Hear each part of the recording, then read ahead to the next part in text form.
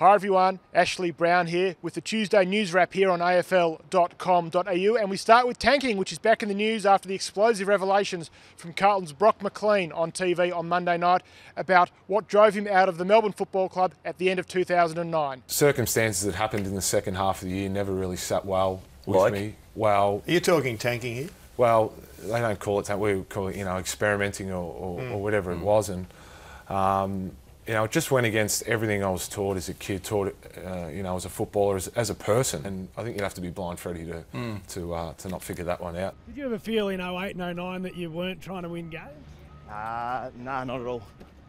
Geelong is gearing up for yet another big game against Hawthorn on Friday night and will leave it until as late as possible before deciding whether freakish forward Steve Johnson will play. You know, he doesn't have any tangible uh, symptoms at the moment, um, but that doesn't mean um, that he'll pass all the tests later in the week. But we'll certainly wait until Thursday before um, doing too much work with him and, and testing him.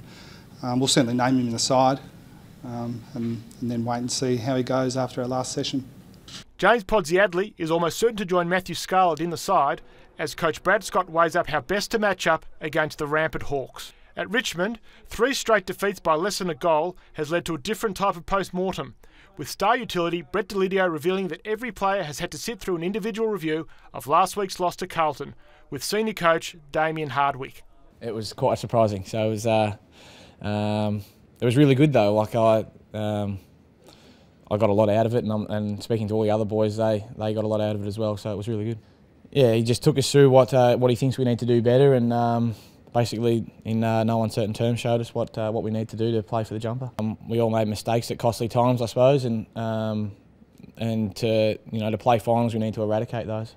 Brisbane Lions coach Michael Voss will wield the selection axe ahead of this week's clash with the Tigers after describing Sunday's 98 point loss against West Coast as unacceptable and well below the minimum standard he expected. we knew the challenge that was in front of us and we knew the task of what we needed to get done and um, you know they, they were able to sort of get up and about very early and um, you know we, we didn't see at the end of the game. I mean, we weren't able to just um, probably compete let alone um, expect anything else so that was really disappointing so our hope at the end of this last five weeks is you know, make no mistake we are trying to finish out the season strong um, and that's, that's our primary focus. At Carlton, fans are starting to get a bit excited about the form of mature age Queensland rookie Tom Bell, who is still pinching himself about coming to work at Visy Park every day. it's all pretty surreal at the moment. Like, I still I still get a bit of a shock when I come into the club and like I'm walking with Juddy and Murph and all that. Like, it's it's just something I've I've always dreamed of as a kid. At the Whitten Oval, it was time for yet another Brendan McCartney press conference and yet another day preaching patience.